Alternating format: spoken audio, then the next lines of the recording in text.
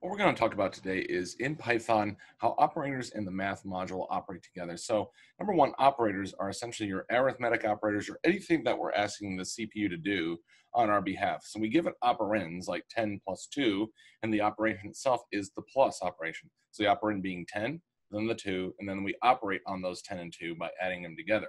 And so that's what we're going to look like today. We also want to see how we can actually manipulate data types. For example, I showed you on the last video what would happen if I added two strings together, like 17 plus 29. If 17 is a string and 29 is a string, we're going to get 1729. Essentially does what's called a concatenation, where it puts the two strings together. However, sometimes we want to input something from the user. And that was another thing, is anytime we input something from the user, we always get a string.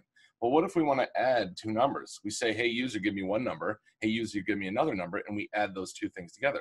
We can't do that unless there's some mechanism where we can change the data types. And I'll show you how to do that, how we convert data types in Python. So the objectives of this lecture are to understand how to perform simple mathematic operations, be able to get an element or range of elements from a list or dictionary, be able to convert one data type to another, understand operator precedence in Python. So that's fairly straightforward because if you're used to your math operations, it's still parentheses, power, or exponent, multiply, divide, add, subtract, the please excuse my dear Aunt Sally principle. Understand how to import and use the math module. So there's a lot of operators that aren't intrinsic to the Python language. So instead what we do is somebody else wrote how to do the sine how to take cosine, how to do the tangent, that sort of stuff. And so we can use the math module to actually use that code that somebody else wrote for us. Otherwise, we would be required to write all that code ourselves using just these primitive intrinsic operators such as plus, minus, subtract, or uh, modulo, divide, multiplication, that sort of stuff. So what you're looking at on your screen right now is how to convert data types. So I've got several examples here where a equals int 10.75. Well, hopefully in the back of your mind, you see the 10.75 and you're thinking to yourself, that's a float because it is, because there's that decimal there. Even if that decimal was a decimal zero, it's still going to be a floating point number. Well, integers can only store the whole portion of a number. So if I convert a from 10.75 as a float into an integer, we're going to get the value 10. It does what's called truncation. Notice it didn't round it to 11, it gave us 10. It just stored the whole portion of the number. It just completely disregarded what was to the right-hand side. So if this was 10.999999, we would still get 10. The only way to get 11 is if the whole portion of the number was 11. And so int, notice it looks like the print, except we leave off the p and r. And so what we do is what we put inside parentheses, we're going to temporarily convert into an integer for that statement. And so for this one, we're going to temporarily convert 10.75, which is a float, into an integer and store that converted value into a, which gives us the value 10. And so if we look at the first line, we can see 10 is the output of it, and it is indeed an integer. So all these work. So int is not spelled out as integer, it's just int, the first three letters of it. Float is spelled out as F-L-O-A-T for float. str is for string. Um, and there's some other ones that you can use bool, B-O-O-L, and that will try to convert it into true or false. And typically what it does is anything that's zero is false, anything non-zero, positive or negative number, is true.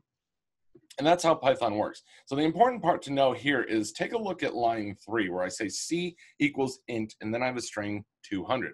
So Python is smart enough that if I give it a string and I want to convert to an integer, it converts string. Remember a string is in this case is just two followed by a zero followed by a zero. So that's three characters. But what Python's going to do, because it sees that we want to convert that into an integer, it's going to actually take the first zero, multiply it by one, because that's the ones place, take the second zero, multiply that by 10, add those two together, so we get zero, zero, and then take the two and multiply it by 100, because that's the 100s place, and add all three of those together, and we're going to get the value 200. And so Python is smart enough to figure that out. Now it is relatively an expensive operation because we have to take the ones place, the tens place, the hundreds place, things like that. And so if we look at line four, where we actually have decimals, now we have to take the one tenths place, the one one hundredths place, the one one thousandths place, things like that. And so these can be fairly expensive operations if we're doing them over and over and over again. And so if you find yourself trying to convert strings, try to find little shortcuts where you don't have to keep converting the same string over and over and over again. So that's how we convert data types. Essentially, we put the data type name add parentheses in that whenever we want to convert temporarily. Now notice we don't say int 10.75, we say a equals 10.7 or int 10.75. Because we temporarily convert 10.75 into an integer, we're not actually changing the value of 10.75. And so what we do is we say, okay, here's your 10.75, we want an integer back. Well, it looks at the 10.75, goes over here, grabs a 10, makes that into a 10, and returns that back to us. So we still have the 10.75 is literal, but we also now have a 10. And so that's the important thing to notice here is we have to set something equal to it if we want the value back out of it. We can't just say float 200 and expect that 200 to become a float. It's not going to do that. It returns to us the actual value that we, that we requested. So let's take a look at some of the operators that are available to us in Python. So in Python, there's a lot of operators that we're not going to use. They're called bitwise operations. That's this less than less than sign, greater than greater than sign. That's the left shift, right shift operation. The single ampersand, that's the logical and. The pipe, and the caret. We're not going to use many of these, but the ones I want to draw your attention to are the plus, the minus, the star, the double star, the front slash, the double front slash, and the percent sign. Those are the ones we're going to use most often. And then when we get into loops and conditions, we're going to start doing the less than sign, greater than sign, where we actually compare two numbers or two strings or something like that. And the important thing to notice here is notice the assignment operator was a single equal sign but our comparison operator is going to be a double equal sign. And I, I, make that abundantly clear through all the lecture slides. So I have this little table right here that is in operator precedence order. So the very first thing is parentheses. So whatever's in parentheses is going to get done first. Exponent, multiplication, division, floor division, modulo, addition, subtraction, assignment. So the assignment operator is the last thing. The single equal sign is the last thing that happens. And so whenever we see an equal sign, it has to do everything on the right-hand side fix that into one single value, and then we can assign that into the variable on the left-hand side. So the important thing to know here is there is actually an exponent operator, and that's the double star. And so if we take a look at how this runs, let's go into Python here. If I say a equals 2, b equals, let's say 4, I can say print a star star v. And what that's going to do is it's going to raise 2 to the fourth power because a is the value 2, b is the uh, value 4. So if we run this, you notice it comes through and it gives us the value 16. Well, 2 to the fourth is 2 times 2 times 2 times 2, which is the value 16. 4 times 4 gives us 16. And so the double star gives us exponent, whereas the single star gives us multiplication. And so whenever we multiply 4 by 2 or 2 by 4, whatever you want to say, it's going to give us the value 8. Now the important thing to know here is we have two different divisions. We have what's called floor division, where it's also known as integer division, or we just have the divide. So a and b are both integers. We can double check that by using that type. But let's go ahead and divide a by b, and let's go ahead and initialize c with its value. That way there we can take c and actually check the type of c. So let's double check and see what this is going to be. So we know this is going to be 2 divided by 4, or 1 half, or 0.5. So let's take a look at what this is going to give us. So notice it gives us 0.5. Even though a is an integer, b is an integer, we divided an integer by an integer and we got a float. So that's what the single equal sign does. It allows us, after dividing integers, to get an actual float. Otherwise, if this was two integers, we would get the value zero because that's the whole portion of the number. Well, if we want that behavior, we can use the double forward slash. The double forward slash is the floor, also known as integer division. Because I have an integer on the top and an integer on the bottom, it will divide those two and give you the whole number portion only. So let's take a look at what this does. So once again, take a look at what the last result, the single forward slash did. It gave 0.5 in a class of float. But if I use the double forward slash, I get zero, which is the whole number portion of 0.5, and it gives me an integer back. Sometimes this is the desired operation, and it always just comes down to what logic do you want to do. And we'll, we'll have some examples of when we use the double forward slash versus the front, front single front slash, because it's sort of makes sense that, well, heck, the single forward slash always gives me the correct result. But sometimes that's not what we want it to do. And we'll look at what that looks like in later lectures. So let's go back to our lecture here. Modulo might not be something, but modulo does division. So whenever we divide, we get two results from the CPU, from the computer. In there, we get a quotient and a remainder. We get both. So whenever we do the forward slash, the single forward slash, we just take the quotient portion and we disregard the, the remainder portion. Whenever we do the, the percent side, the modulo, we take the divisor or we divide the two, we get the quotient and the remainder, but we discard the quotient and just save the remainder. So let's take a look at what we've got here. We have 2 divided by 4. And so I say C equals A percent B. Now this is going to give me an integer, and let's take a look at what this gives us. It gives us the value 2. So in this case, 2 divided by 4 is 0 with a remainder of 2. Well, let's do this a little bit differently. Let's say 14 divided by 4. Obviously, 4 does not divide evenly into 14. It does for 16, but not for 14. So let's take a look at what we're going to have remaining here. So notice if we divide 14 by 4, we can obviously divide that three times gives us the value 12. If we subtract 12 from 14, we get the value 2. So this is the number remaining after division. So I'm not trying to teach you math here, I assume you know that, but I just wanted to show you how it's going to look in Python. Okay, we know we're going to get the quotient and the remainder, but how do I discard one and the other, and how do I grab those? And it's by using the operator, either the percent sign or the forward slash. Remember, forward slash gives you the quotient, percent sign gives you the remainder. Addition and subtraction is exactly like you would expect. If I do it a plus b, that's going to give me in this case 18 because it's going to add 14 plus 4. Now remember in the lecture slides, if I added double quotes here, that makes these instead of integers, strings. And so if I added these two together, let's see what I'm going to get. Notice I get 144 because it's a class of strings. So what it's going to do is it doesn't see that it's the value 14. It sees it's that it's character 1 followed by character 4. And then B is just the character 4. So if I add two strings together, I concatenate them. I just sandwich them together. And because I put A first plus B, 14 is going to come first, followed by the last four. And so it's very important you understand what your data types are. So let's go ahead and temporarily convert these just to show you that int actually does work here. So what this is going to do is inside the parentheses of int, we have the value 14 as a string. And so what that's going to do is Python's going to convert that by multiplying 4 by 1, adding that to 1 times 10. And so that's essentially how it goes through there because it takes the ones place, multiplies it whatever digits there, goes to the tens place, multiplies 10 by whatever digits there. So we're going to get the value 14 as an integer. And the same thing happens for line two, b equals int string four. What that's going to do is convert that four from a character into an integer, which is going to be the value four. So hopefully in the back of your mind, you're expecting on line four that we're going to add integer 14 with integer four, and we're going to get a integer back that should be the value 18. So notice whenever we didn't put the ints there, we got 144 as a class of string. Whenever we did put the ints there, we got the value 18 as a class of integer. And so that does exactly what we want to. The reason this is important is because the input, when I'm reading data from the user, input always gives me a string. And so I have to have some sort of way. For example, if I say, give me a number, they're going to give me a number, 1, 4, but that's going to be string 1 followed by the character 4. And so using the int or float, whatever it happens to be, we can actually convert what the user gives us into whatever data type we want. Now, some conversions we cannot do. So if I said int a as a string, or let's just put John and Jane or something like that. So Python still has to figure out, okay, how am I going to convert John into an integer? And unfortunately, it can't. So what we're going to get is what's called a value error. It's looking for a base 10. It's like, uh, I don't know how to convert John into a base 10 number because those aren't digits that I can work with. Let's take a look at if I did something like one John. Okay, even that, it still sees that that one, yes, I can convert the one, but because JOHN is in there, it's not a full integer. So that's the thing about an input. If I add spaces, I'm gonna get the full content as a string, but I still need to narrow down just the integer portion if I want Python to convert it for me. Otherwise, you are forced to convert it yourself. So operator precedence, I'm not going to cover too much. You can just see, based on this chart, parentheses comes first, exponent, multiply, division, and so on and so forth. Assignment operator is the last thing to occur, which is exactly what we would expect.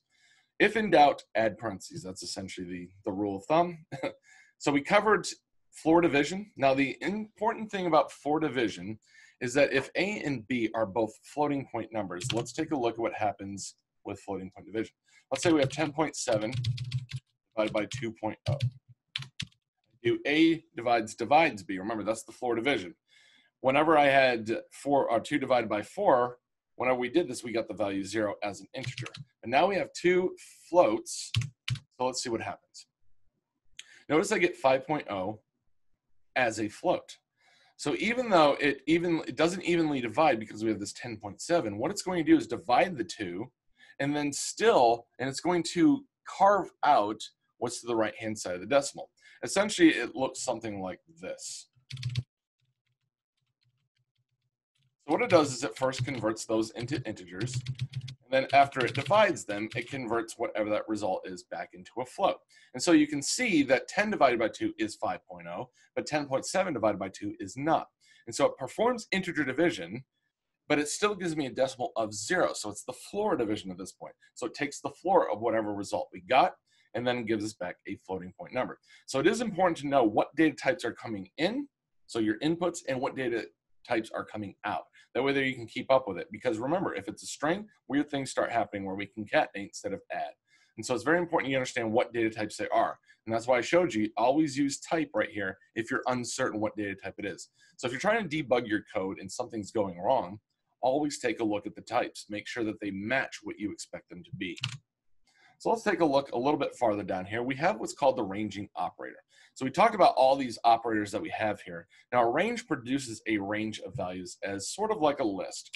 So if I said something like a equals range 10 to 20, there are three different ways we can specify this. If I only specify one number, that's gonna give me a range from zero to nine. So it's gonna give me 10 total numbers starting with zero. So they give me zero through nine. If I specify two numbers, right here, 10 comma 20, it's gonna start at 10 and end at 19. And so we have 10 total numbers. So 20 minus 10, we have 10 total numbers. And so you can think of it as the starting point is inclusive, whereas the stopping point is exclusive. That's why we get 10 through 19. So in here, if I was to say A itself, we're going to get what's called a range type. And it does, it's not very helpful. You can see it just says range 10 comma 20. Okay, good. Well, we can actually use it sort of like a list. So I could say A sub 2. And what that'll do is give me a third element. Remember, all indices start at 0. So the 0 element should be 10, 1 element should be 11, 2 element should be 12. So let's take a look at what occurs. Okay, and we get the value 12. And basically all this does is produces a list. And in fact, we could say I want a list off of that. Okay, and we can convert this thing into the list just to see what occurs and we get a list of 10, 11, 12, 13, 14, 15, 16, 17, 18, 19. So just like int, just like str, float, and stuff like that, list is a way to change an object, in this case, arrange into an actual list. And you can see it actually produces the list, something that we would want 10 through 19. And finally, if we specify one more, comma two, that's what's called the step. And so we're gonna get values from 10 to 19, but each value is gonna be, in this case, two apart. And so as you saw with nothing there, they're one apart, 10, 11, 12, 13, 14. So let's take a look at what happens when they're two apart. So notice we get 10, 12, those are two apart. 14, that's two apart. 16, notice 19 doesn't even show up. 20 doesn't even show up. So we get 10, 12, 14, 16, and 18. Once again, this is the starting point. It's inclusive. 20 is the stopping point. It's exclusive. And then this is what's called the step. We can leave any of these off except for the starting point. I'm sorry, the first value. So that's the important thing to know here is if we specify the first value, it could be the ending point or the starting point depending on whether we add one other value. So for example, if I say range 10, it's going to give me all values 0 through 9. So that's the stopping point. However, if I added another number, 10 comma 20, now that 10 is no longer the stopping point, it's now the starting point. And so if we run our Python, we get 10 through 19. And so it's important to know what this operator is actually doing. And this is a great way because otherwise, if I didn't have the range function, I'd have to say something like 10, 11, 12, 13, 14, 15, 16, 17, 18, 19. And that's how I would have to build my list. And it's not the easiest thing in the world. So we can just say range 10 through 20. That gives me uh, 10 values in this case, 10 through 19. And as a list, if we change it using this typecasting list. So it goes to show you that not only can we have integers, strings, things like that, we can actually convert ranges into lists. Okay, let's talk about slicing. So slicing is a way, everything we've done up till now, we've grabbed a single value from a list, a dictionary, and stuff like that. So let's go in here. We have A as a list. Let's go ahead and print out just so you can see what the list looks like. In this case, we have 10, 11, 12, 13, 14, 15, 16, 17, 18, 19. Now, if I said A sub 0, that's obviously going to give me the value 10. It's going to give me the first element in there. I said 2, it's going to give me 12, the third element in there. And that's why we get 12. Well, what if I wanted to narrow this down and get the values 11, 12, and 13? Well, I can do that using what's called a slice. And so it still uses the subscript operator, the square brackets, except now we're going to use a colon to denote a starting point and an ending point. And so in this case, our starting point, we want 11. So that's index 1 and we want 12 and 13. So 11 is index 1, 12 is index 2, 13 is index 3. So here I'm going to put 3, but don't be fooled yet. I did 1 through 3 and notice I got 11 and 12. Just like the range function, the slice function is exclusive on the end. So notice that the 1, which is the value 11, has been given to me. However, 3 is exclusive, so we only get indices 1 and 2, which is 11 and 12 respectively. So if I want 12, I would put the value 4 here. So notice that 4 is exclusive, so I get values of index 1, which in this case is 11, index 2, which in this case is value 12, and index 3, which in this case is value 13. And so it's very important to understand that, okay, if I use the slice, I think of it like the range operator. Starting point is inclusive, whereas the stopping point is exclusive. Now there's some shortcuts we can make with this. So I'm gonna leave this print up there and show you what happens if we just specify an ending point. Well, what that's going to do is it's going to start at the very beginning of the list. So we get all values up to in including 13. So notice if I have one com or colon four, we get 11, 12, and 13. If I have nothing there, it's assumed to be the value zero. And so notice if I put zero here instead, we should get the exact same list.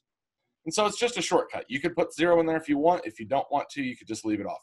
Typically, most Python programmers just leave it off. The same thing can be said on the opposite direction. And so if I specify one here and then nothing on the end, that assumes we want to start at index one and go all the way to the end of the list, which the last value of the list is the value 19. Notice we skip 10 because that's index zero. Once again, the starting point is inclusive, whereas the stopping point is exclusive. And so I've got your slicing here on a table. The last thing I want to cover is the negative numbers. And so what I can do, even on a slice or even not on a slice, I can say negative two. So if I have a negative number as an index, it's going to start at the very back of the list. And let's take a look at what negative two is going to give me. If I do negative two, it gives me the value of 18. So in this case, negative one would give me the first element from the back of the list. Negative two gives me the second element from the back of the list. Notice if we specify zero, that's the start of the list. One, so if it's a positive value, we start at the beginning of the list. Whereas if it's a negative number, we start at the end of the list. So let's talk about the last thing, which is the math module. So the math module includes code that somebody has already written for us. We just want to import it and use it. And so I used here in this lecture slides the dir stands for directory, and it shows you all the different things that belong to the math module. Now the math module, because somebody else wrote it for us and it's not intrinsic to the Python language, we have to do what's called import math, okay? So import says, I want you to reach out and grab something that somebody else wrote for me. Now math comes with all Python distributions, so you should be fine. So what I'm gonna do is I'm gonna print dir math, just to show you once again what that's going to produce. We imported math, and now we have access to all these functions here. Because I use the import, there's a different way to import which I do not want you to use, where you can say from math import star. You'll see that a lot, but I don't want you to do that because with math, it's now self-contained in something called a math namespace. So if I want to access the cosines or GCD or pi, I would have to do math dot in front of all those. And so notice on my IDE here, all those different functions popped up. So if I want the value pi, I would have to do math.pi. Because if I did just simply pi, Python has no idea what we're talking about there. Okay, so notice I got a name error with pi, but math.pi printed out 3.14159 and so on and so forth. So that's how I like you to import your modules. Whenever I do import math, everything that I want to use from the math library now has to be prefixed with math dot, math dot. Okay, so there are multiple things we could do with the math library. Most of our geometric or trigonometric functions are located inside, but we can also, you see that floor, factorial, things like that are also reproduced for us. Some of these things are actually like ceiling, um, powers, even though we have an operator for power. So let's just take a look at print math, say two to the eighth. We actually have an operator that performs that for us. So the reason they did this is take a look at math.pow. Notice that it gives us a float, number one. But the reason they did this is for backwards compatibility. Now, used to Python a long time ago decided, hey, so like C++, all those other languages do not have an intrinsic operator for powers. However, in Python, we use them all the time, so they actually have an intrinsic operator to star star. The double star tells you raise 2 to the eighth power in this case. But for backwards compatibility, or the, for those coming from a C++, Java background, they offer it also in the math. I would recommend you use the intrinsic operator, the star star, because it's easier to use number one, plus we don't have to import the math library to use it. Uh, there's other functions in there. There's Euler's number, there's exp, which is e raised to whatever exponent you want. There's absolute values, arc cosines, arc sines, and things like that that you can see all inside here. And so that's essentially the math library. And in the math library, you're just really going to have to play around with it. So I've added a lot of references to the bottom of the lecture, just so you can see all the different things that the mathematical functions include. So here's the documentation. We always prefix it with math dot. That's if you use import math, which I would recommend. And tells you exactly what it's going to return. Here are the parameters. Here's what it's going to do for you. And so I would recommend you take a look at this. Just be familiar with the different functions that the math library gives us access to. Number one it's mainly trigonometric, floating point, factorial, floor, ceilings, that sort of stuff. So it's not all the weird math functions that we're going to use. We're going to use what's called NumPy, N-U-M-P-Y, and that has all those scientific mathematical formulas that we're going to need in the future. But for now, that is your operators. That is the math module. And that is how to slice range. So let's double check to make sure we got all of our learning objectives out. So understand how to perform simple mathematical operations. Well, assuming we know that it's an int or a float, we can use plus, minus, divide, double divide, and that's essentially right here, all of your different operators that you can use. Let's take a look at be able to get an element or range of elements from a list or dictionary. So you saw we can get a single element by using the subscript operator. We can get a range of elements by using the slicing operator. The slicing operator has the colon. Remember, inclusive is the starting point, exclusive is the ending point. Be able to convert one data type to another. We've done that by just simply saying whatever data type we want, and then inside parentheses, what data type we want to temporarily convert. Remember, if I said int, so for example, in this case, if I said something like a equals 10.2, if I said int a, it's not going to convert a into an integer. It doesn't actually modify a itself. If I wanted to change a into its integer, I'd have to say a equals int a. So hopefully everybody understands that just by putting int a, the a inside the parentheses, it actually doesn't change a. It looks at the value of a and then returns the integer, in this case, value of a. So if I did print a right here, actually let's just leave it. Just to show you we still get 10.2. It actually did not convert it. But if I said a equals int a, then we get the value 10, the integer version of 10.2. And then finally, let's see, operator precedence, that's in the table, and then understand how to import and use the math module. Import math, and then if we want to use it, it's math dot. And that's actually what's kind of nice about this documentation right here, is it'll put the math dot, just very small right there, just so you don't forget, hey, this is part of the math library. You probably should put math dot in front of it if you want to use it. So for example, if I wanted to do the absolute value of negative 77.4, okay? Notice we put math dot in front of it, then FABS, it stands for floating point absolute value. We run this, and we get the value 77.4, the absolute value. And that is exactly how we run these mathematical functions. So let's double check, make sure once again we have all our learning objectives met, which we do. And so that takes care of operators in the math module. Thanks for watching.